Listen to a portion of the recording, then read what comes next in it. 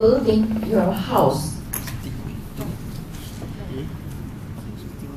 An elderly carpenter was ready to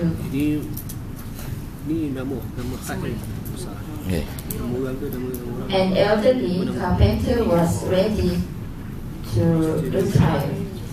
He told his employer of his plans to leave the house building business to live a more leisurely life with his wife and enjoy his extended family.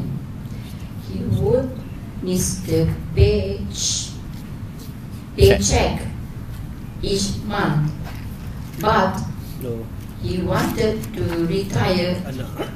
They could get anak The employer was sorry to see his good worker, so go and ask if he could build just one more house as a personal favor.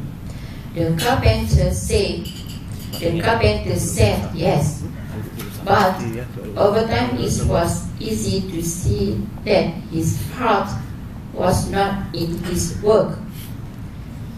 He resorted to sh- sh- shortly, work workmanship and used inferior materials. It was an unfortunate, unfortunate way to end a decided career. Okay, thank you.